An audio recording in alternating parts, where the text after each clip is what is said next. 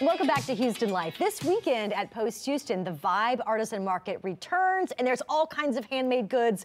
You can find art, and you can find all the things that we have here on this table yep. jewelry, bags, all kinds of good stuff. Yeah, the list goes on and on. And Christina Terry, the organizer, is joining us now with more on the market. She is a Houston Lifer um, regular now. Just me. Yes, and you're doing this again. They've been really successful. What do you have going on this weekend? So this one is going to be our spring showcase. We're okay. doing this in all of our major cities, uh, Denver, Dallas, Austin, and Houston. Wow. So next up is Houston, then next weekend will be Denver. That's so, so, cool. Yeah, this is just a huge showcase of different artists. We have 120 artists.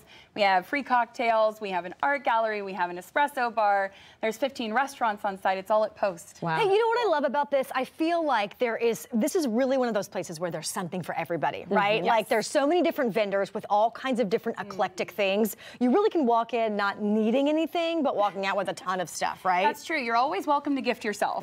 There, you don't need um, a season or a different holiday in order to purchase from these artists. It really is something that you can adorn your house with. Um, it's something for all seasons. Uh, you know, you don't have to gift. This is a very important thing for yourself too, to allow yourself to have beautiful things in your own home and adoring yourself with as well. Well, you know what, Christina, a lot of people, for those that don't know, Christina actually started this during the pandemic. Stay-at-home mom, like from stay-at-home mom to full-on business um, with the Vibe Artisan Markets. It's expanded into another state. It's yeah. in Denver now. Yeah. You know, we're lucky to have her right here in Texas, really bringing all of these local artisans together um, because at a point in time, it was their livelihood. Yes.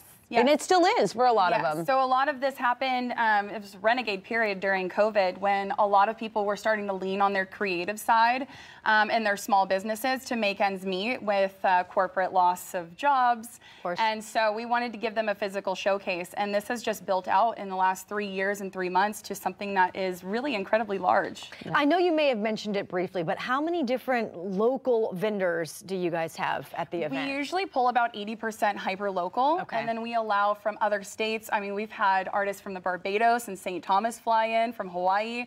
Um, a good majority of them in Colorado, seeing one of the reasons that we did expand there, um, and all over the state. So we do allow 20% of those people, those artists, to be out of state. That's so cool. And yeah. what is so cool about this is that they're making these things with their hands. Yeah. So there's quality products. I mean, these are some of the things that we featured before. These, the, what the camera's seeing now, burning stones I'm, I'm not kidding. You could not support a better family when you make yeah. one of these beautiful purchases. And that's because I've gotten the chance to get to know yeah. some of these families.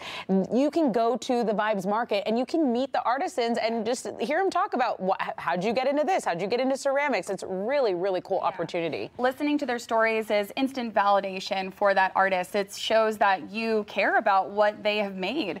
Um, again, I bring this up a lot, but artist imposter syndrome is real.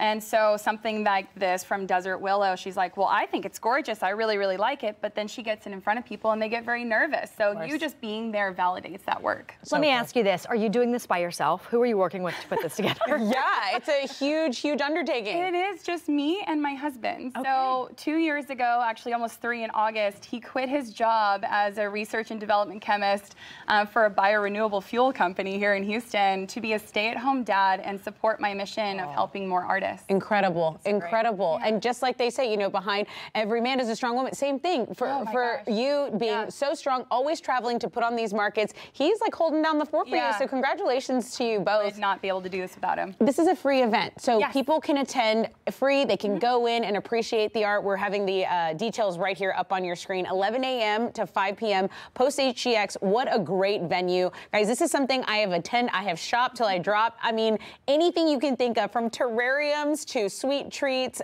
uh, just an, it's, an vibe. it's a total vibe. It is, right? Lauren, it is a total vibe. I'm telling Lauren in the break, I'm like, you need to it's, go to this. Yes, she you did. Need... Christina Terry, you're a rock star. Uh, Brad, husband Brad, you're a rock star as well. You can stay really, in touch really. with Vibe Artisan Markets on Instagram. That's on, we will put that on our website, and all you have to do is look for the scene on Houston Life section of HoustonLife.tv.